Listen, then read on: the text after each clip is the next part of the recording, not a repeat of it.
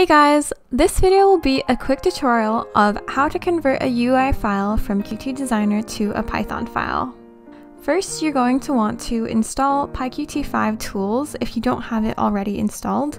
This is a Python library that will download um, PyUIC5 and the Qt Designer exe. So I've just launched command prompt and I've dragged my pip exe for the Python version I want to install into and this will give me the full path to it. I'm just going to run this code to install it now. Next, I'm going to launch Qt Designer and create a very simple UI just to show the workflow.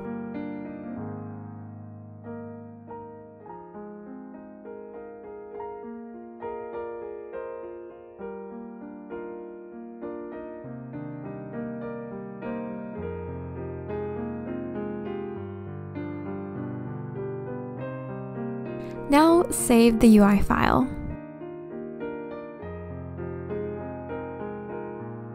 You can see it's written in XML format and you can even get away with using this, but it's not the cleanest method and at some point you'll want to convert it. To convert, you can use the PyUIC that is found in the Python scripts folder and run this code. The first file path is the UI file and the second file path will be the Python file.